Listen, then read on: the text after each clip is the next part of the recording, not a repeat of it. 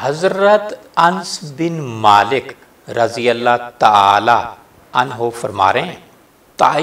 वल्लौकफिन मिन हशफिन फ़इन तारकल अशाई मारामा, रात का खाना ज़रूर खाओ खा तुम्हें रद्दी खजूर की एक मुट्ठी मुयसर हो रद्दी खजूर से मुराद पुरानी खजूर, यहाँ भी खजूर की मिसाल दी जा रही है, क्योंकि रात का खाना तर्क करने से बुढ़ापा बहुत जल्दी तारी हो जाता है।